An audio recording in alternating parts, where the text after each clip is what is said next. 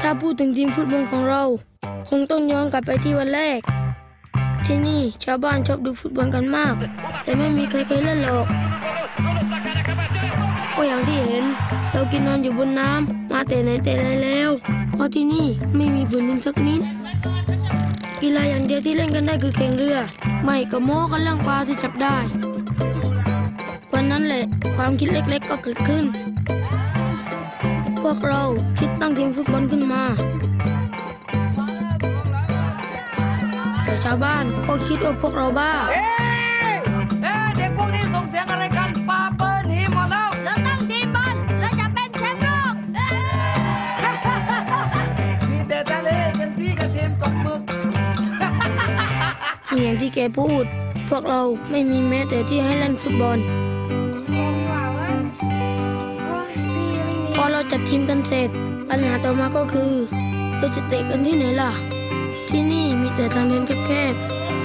ๆ แล้วเราก็มีความคิดว่า เราต้องสร้างพื้นที่ของเราเอง เรารวบรวมเศษไม้เก่าๆ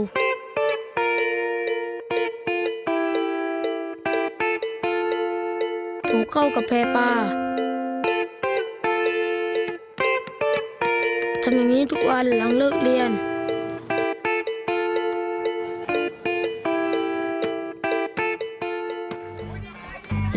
ก็สร้างสนามของเราขึ้นมา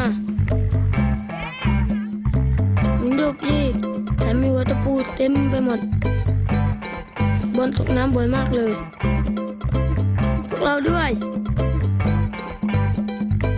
แต่เราก็เรียนรู้ในการเล่นบนสนามแบบนี้ก็นี่แหละสนามของเรา สนามนี้อาจจะเป็นแชมป์โลก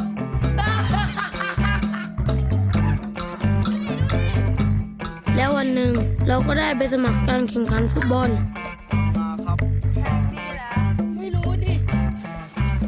แล้วเราจะสู้กับเขาไหวเหรอ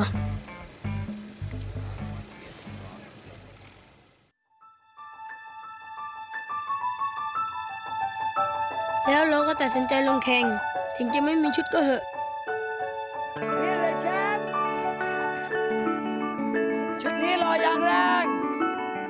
เราไม่รู้มาก่อนว่า จริงๆ แล้วชาวบ้านก็สนใจเราเหมือนกัน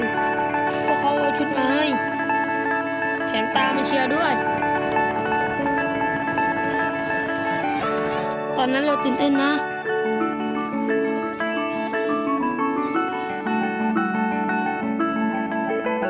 แต่พอเอาเข้าจริง เราทำได้ดีกว่าที่คาดไว้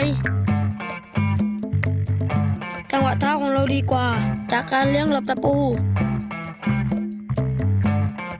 แถมประตูในสนามจริง ใหญ่กว่าตั้งเยอะ แล้วเราก็เข้าถึงรอบสี่ทีมสุดท้าย วันนั้นฝนตกหนักมาก แถมคู่แข่งก็เป็นแชมป์เก่ารองเท้าของเราเต็มไปด้วยน้ำ เราเล่นกันไม่ได้เลย หมดครึ่งแรกเราโดนนำไปสองลูก เราสู้ไม่ได้จริงๆ เราไม่รู้จะทำยังไง หลังจากครึ่งแรกที่เราสู้ไม่ได้ เราต้องทำอะไรบางอย่าง เราต้องกลับไปเล่นฟุตบอลแบบของเรา ด้วยการถอดรองเท้า มันเป็นฟุตบอลแบบที่เราถนัดจริง ๆ คู่แข่งสู้เราไม่ได้ เราเล่นดีขึ้น ทำได้ดีขึ้น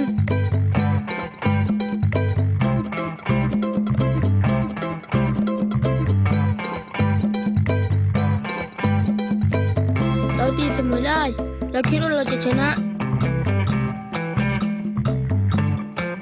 แต่เพราะลูกนั้นในนาทีสุดท้ายนั่นแหละเราไม่เสียใจหรอกดีใจซะอีกที่มาได้ไกลขนาดนี้ แถมชาวบ้านทุกคนก็ภูมิใจด้วย หลังจากนั้นความคิดของคนทั้งเกาะก็เปลี่ยนไป วันนี้เรามีสนามใหม่ที่ไม่มีตะปูแล้ว แต่เราก็ยังไม่ได้เล่นบนสนามหญ้าอยู่ดี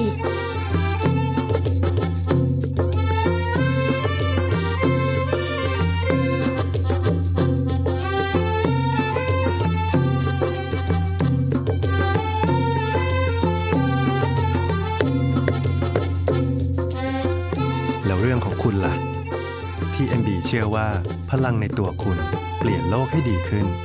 TMB make the difference